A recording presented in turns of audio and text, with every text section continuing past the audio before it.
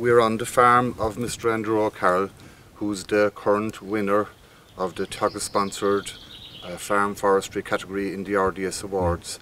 And could I ask you, are you impressed by Andrew's approach to forestry and to overall farming?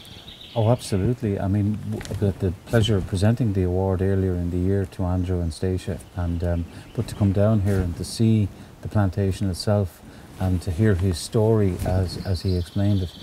This is land that he, he will tell you up to when he planted it was, was difficult, challenging. Um, he said he could spread lime in it in April without marking the ground, and in June the cattle were sinking in it. So it, it just it was it was land that wasn't performing and was a, was difficult to farm. Um, took a decision with a good advice um, from uh, experts to plant this this block. It has really achieved phenomenal uh, growth. Um, where he'll be probably thinning this year after 14 years of growth, which is exceptional.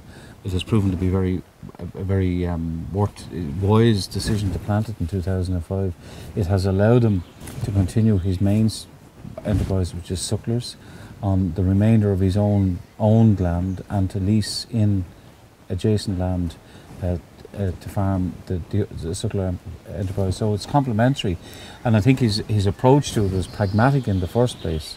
Uh, insofar as the land here was too difficult to farm, it was always, uh, you know, not producing the way it could, it should, better land would, um, and now he's making this a, a positive contributor to the family farm income. Your department recently announced enhanced supports for new afforestation.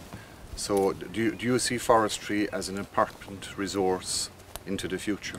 Yes, well, the government, the, the, the, the afforestation scheme is funded out of the Exchequer, so it's of the order of 106, 108 million annually.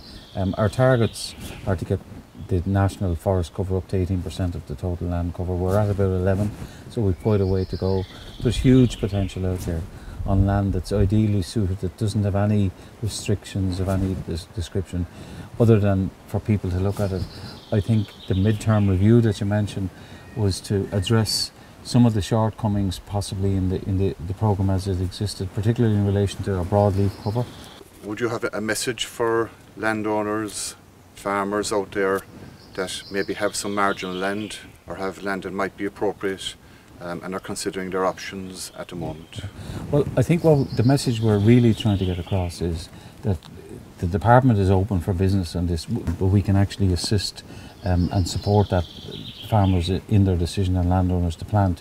What I'd ask all farmers to do is look at their overall uh, holding and see if there's land that could actually produce more by way of income, pension possibly, um, provision and, and security if it was put into into afforestation and use that money then to improve the, the remainder of the farm or perhaps lease in or purchase additional land so that they can farm in complement with um, with having trees as opposed to in competition with it. I think they're complementary rather than uh, you know in competition. So I think it's really important that people have a look at it.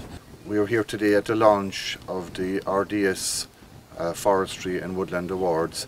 And do you see merit and would you encourage um, landowners with forestry Yeah. to participate in, in these awards? Oh, absolutely, and I think it's great. I mean, you can see walking around here why um, the O'Carroll plantation was awarded the inaugural winner of this award, um, and hopefully by showing and demonstrating the showcasing it, we'll get other people who have um, plantations that are of high quality, well managed, and that they would um, enter their um, enter into the competition. I think it's really to the credit of Teagasc and the RDS for recognising the need for such an award to, to, to, to highlight the benefit of the, the farm forester.